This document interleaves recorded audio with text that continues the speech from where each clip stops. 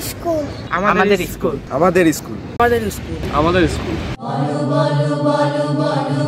সবে যায়। হবে হবে হবে হবে নিশ্চয়। একবার সাহস করে প্রাণ মুঠোয় ভরে বুক বেঁধে দাঁড়ালে হয়। ওই দূর বহু দূর তত দূর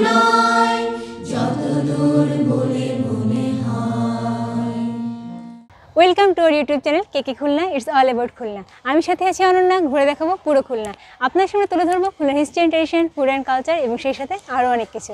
সো ফ্রেন্ডস খুলনার নতুন নতুন এপিসোড দেখতে চাইলে এখনই আমাদের চ্যানেলকে সাবস্ক্রাইব করুন and do like comment and share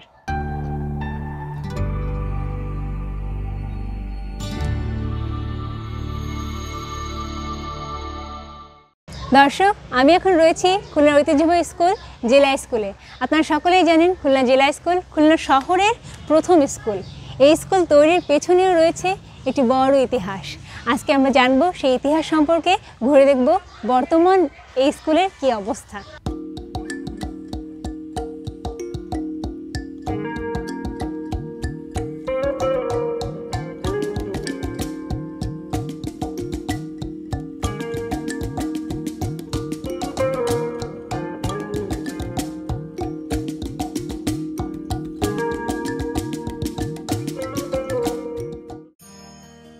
British যুগ তখন। দক্ষিণবঙ্গে লবণ ব্যবসা চলছে রমরমিয়ে। লবণ উৎপাদনের জন্য প্রসিদ্ধ হওয়ায় সরকারের রায়মঙ্গল বিভাগের প্রধান চৌকি ছিল খুলনার কয়লাঘাটা। উনিশ শতকের মাঝামাঝি নাগাদ এই নিম চৌকির প্রধান ছিলেন মিস্টার ইওয়ার্ড আর দারোগা ছিলেন বাবু সাতুরাম মজুমদার। বেলফুলিয়ার মুসাব্বরপুরের মানুষ তিনি। তিনি দেখলেন মহকুমা সদর হবার ২০ বছর সময় পেরিয়ে গেছে, কিন্তু শহরে কোনো ইংলিশ মাধ্যম স্কুল নেই। ততদিনে অবশ্য মহসিন মাধ্যমিক বিদ্যালয় প্রতিষ্ঠিত হয়েছে, কিন্তু সেটি ছিল শহরের সীমানার বাইরে। তাই সাতুরামবাবু নিজ উদ্যোগে আঠারোশো তিয়াত্তর সালে প্রতিষ্ঠা করলেন খুলনা ইংলিশ স্কুল। তখন যে ভবনটি তিনি নির্মাণ করেন, সেই ভবনটি যদিও এখন আর নেই। দর্শক লাল বিল্ডিং দেখলে আপনাদের কি মনে আসে? ব্রিটিশ ঔপনিবেশিক শাসনের কথা।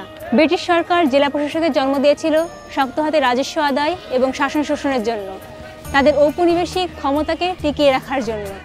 কিন্তু এর মধ্যেও কিছু কিছু জিনিস বাঙালিদের জীবনে কিছু ইতিবাচক প্রভাব ফেলেছিল। তার মধ্যে ছিল স্কুল কলেজ প্রতিষ্ঠা। খুলনাকে যখন আঠারোশো বিরাশি সালে জেলায় উন্নীত করা হলো তখন অনেক বাঙালি যারা কলকাতায় গিয়ে পড়াশোনা করতেন, তারা ছুটে আসেন এই স্থানে তাদের নিজেদের জায়গায়, কারণ এখানেই তখন চাকরির ব্যবস্থা হয়েছিল। নিম্নবিত্ত এবং মধ্যবিত্ত মানুষের জন্য খুলনা শহর হয়ে দাঁড়ায় একটি আদর্শ স্থান। এবং এরই ফলশ্রুতিতে খুলনায় তৈরি করা হয় খুলনার শহরের দ্বিতীয় স্কুল, জেলা স্কুল।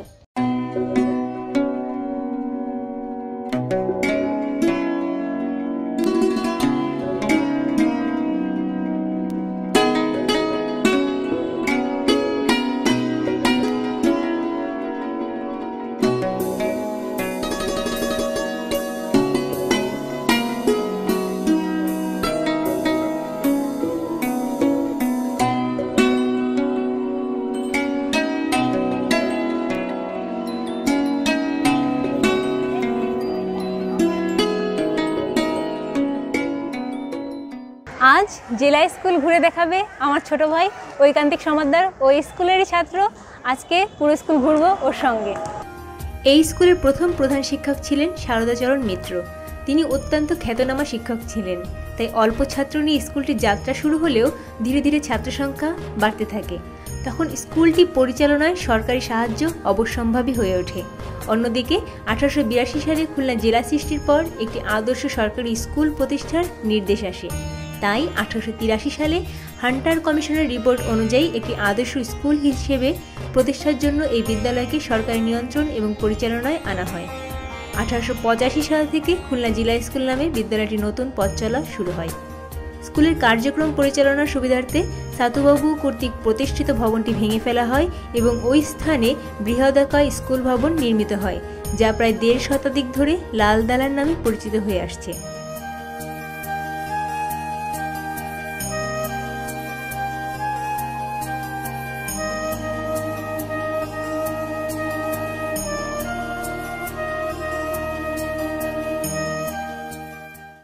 চাতুরাম মজুমদারের স্মৃতি রক্ষার্থে লালদারানে একটি স্মৃতিফলকও স্থাপিত হয়েছিল। এভাবেই বাবু সাতুরাম মজুমদারের শুভ উদ্যোগে জন্ম নিয়েছিল বাংলাদেশের অন্যতম সেরা বিদ্যাপীঠ খুলনা জেলা স্কুল। এটি আমাদের স্কুলের পুরনো লাল বিল্ডিং। প্রতিষ্ঠা লগ্নের পর থেকে স্কুলের ইতিহাস এবং ঐতিহ্যের সাক্ষ্য বহন করে চলছে ভবনটি।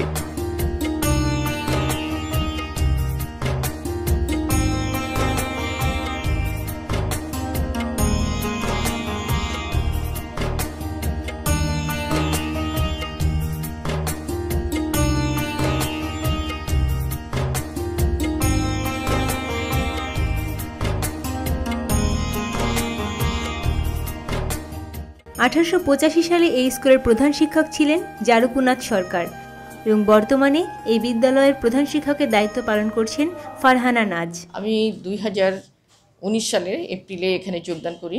থ্রি থেকে ক্লাস টেন পর্যন্ত আমার স্কুলটি। ফলে শৈশবের শিশুরা যখন আসে, ওদের আচরণটি একরকম থাকে এবং যখন ওরা কৈশোরে পদার্পণ করতে যায় সিক্স থেকে সেভেন থেকে, তখন একটু আলাদা চঞ্চলতা তাদের মাঝে দেখা দেয়। এবং আমি মনে করি না যে আমার সন্তানের সাথে এই শিক্ষার্থীদের মধ্যে কোনো পার্থক্যই আমি মনে করি না।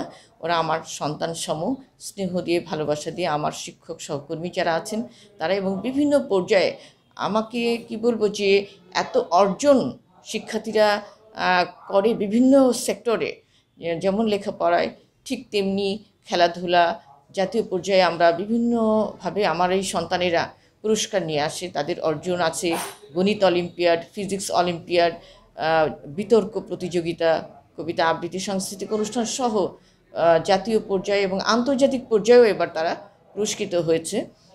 ব্রিটিশ কলাম্বিয়াতে তারা সায়েন্স অলিম্পিয়াডে পুরস্কার পেয়েছে। তো আমি আসলে খুবই প্রাউড ফিল করি ভীষণ ভীষণ ভালো লাগে আমার এই স্কুলে এদের সাথে থাকতে। তো আসলে আমি একটা ভালো লাগার অনুভূতি নিয়েই আছি। বাংলাদেশের বহু গুণীজন ছিলেন এই স্কুলের ছাত্র। তাদের মধ্যে উল্লেখযোগ্য কথা সাহিত্যিক শ্যামল গঙ্গোপাধ্যায়, কাজী ইমদাদুল হক, কবি ফররুক আহমেদ, জাতীয় অধ্যাপক ডক্টর আনিসুজ্জামান, জ্যোতির্বিজ্ঞানী ফারসিম মান্নান মোহাম্মদী, অভিনেতা গুলাম মুস্তফা, সালমান শাহ, ছাত্রনেতা ও মুক্তিযুদ্ধের সংগঠক নিজাম মোহাম্মদ, সিরাজুল আলম খান, মেজর গনি যিনি পূর্ব পাকিস্তানের প্রথম মেজর ছিলেন, ক্রিকেটার মানজারুল ইসলাম রানা, নুরুল হাসান সোহাগ, তত্ত্বাবধায়ক সরকারের উপদেষ্টা জনাব এস এ করিম, বাংলাদেশ সরকারের প্রাক্তন প্রধানমন্ত্রী কাজী জাফর আহমেদ, বাংলাদেশ সরকারের সচিব ওয়াহিদুজ্জামান, আশরাফুল মকবুল সহ আরও অনেকে।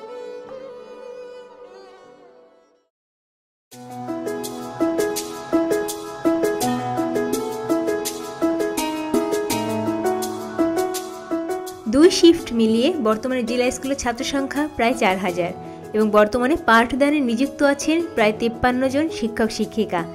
প্রাত শাখার সময়সূচি সকাল সাতটা পনেরো হতে দুপুর বারোটা পর্যন্ত এবং দিবা শাখার সময়সূচি দুপুর বারোটা পনেরো হতে বিকাল চারটা পঁয়তাল্লিশ পর্যন্ত। এর মধ্যে রয়েছে টিফিনের ব্যবস্থা।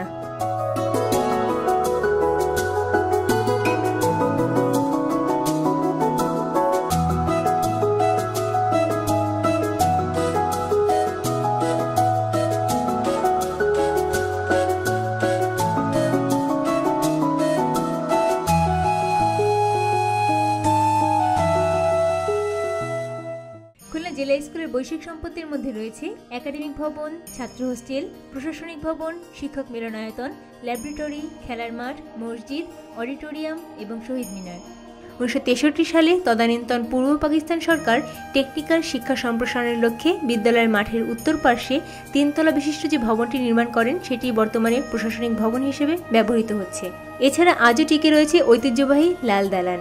মূল কাঠামোকে অক্ষুণ্ণ রেখে ভবনটি উনিশশো পঁচানব্বই সালে সংস্কার করা হলেও দু হাজার পাঁচ সাল থেকে এই ভবনটি পরিত্যক্ত ঘোষিত হয়। দু হাজার সাল নাগাদ লাল দালান ভেঙে নতুন ভবন তৈরির প্রস্তাব আসে।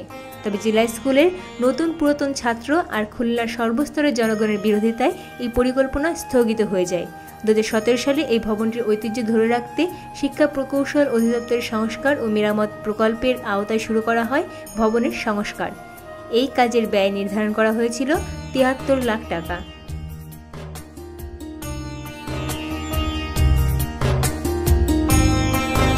ম্যানেজিং কমিটি দ্বারা স্কুলটি পরিচালিত হয়। এই পরিচালনা পরিষদের সভাপতি হন খুলনা জেলা প্রশাসক এবং সম্পাদক বিদ্যালয়ের প্রধান শিক্ষক। এছাড়া অন্যান্য সদস্যদের মধ্যে রয়েছে নির্বাহী প্রকৌশলী ও সিভিল সার্জন।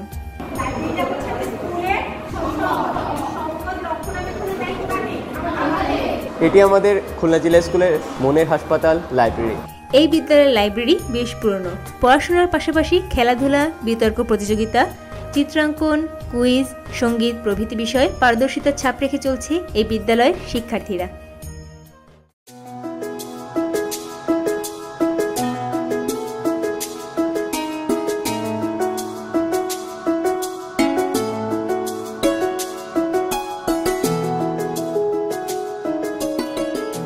তথ্য প্রযুক্তি বিষয়ক যে ক্লাসগুলো এখানে আমরা নিয়ে থাকি, বিভিন্ন সময়ে ছাত্রদের গ্রুপ ওয়াইজ ছোট ছোট ট্রেনিং আমরা করে থাকি। ছাত্ররা চাইলে যে কোনো সময় আমাদের একজন ল্যাব অ্যাসিস্ট্যান্ট আছে ল্যাব সার্বক্ষণিকভাবে খোলা থাকে। এরা চাইলেই যে কোনো সময় ছাত্ররা এখানে এসে কাজ করতে পারে।